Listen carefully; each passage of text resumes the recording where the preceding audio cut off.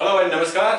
One more small case in regression and the case is for perfectly correlated two variables x and y. The estimated values of y are as follows. Find out the coefficient of correlation. It should not be the question to find out the coefficient of correlation. The question should be find out the value of bxy.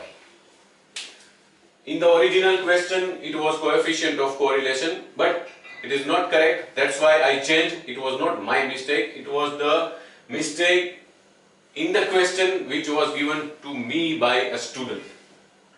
Given values or known values of x and estimated value of y. Now, we know very well that we can estimate the values of y on the basis of the known values of x if we have the line of regression of y on x. The line of regression of y on x. If we have the equation of this line of regression and if we substitute the known values of x into them, then we can have the estimated values of y. What is the line of regression of y on x in this case? We don't know but we know its standard form. That is y cap equals to a plus bx where b stands for byx. Okay, we don't have values of a or b, no problem. We have two values of x, known values of x and two estimated values based on them. So now we can say that y takes value 30 if x takes value 14. Similarly, y takes value 25 if x takes value 10. So now we can say that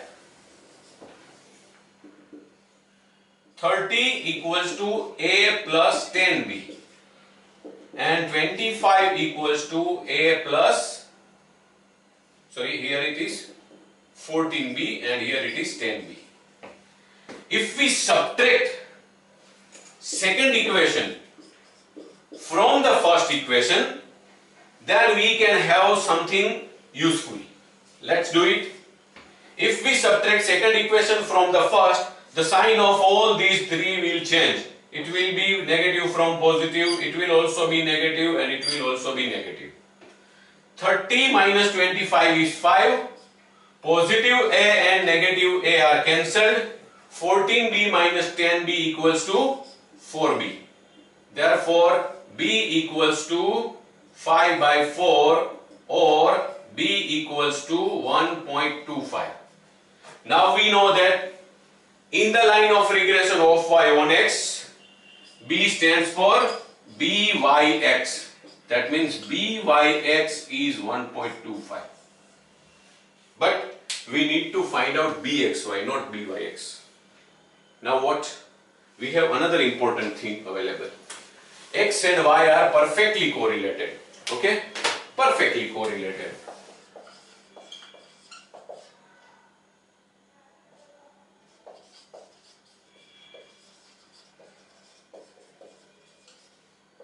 The meaning is coefficient of correlation is plus or minus 1 or more precisely the squared value of coefficient of correlation is 1.